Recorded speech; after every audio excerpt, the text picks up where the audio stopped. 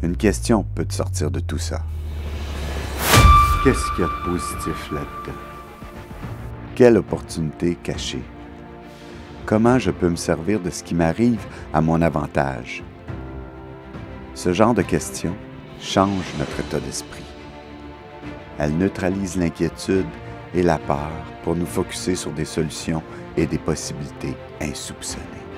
Essayez-les, ça marche.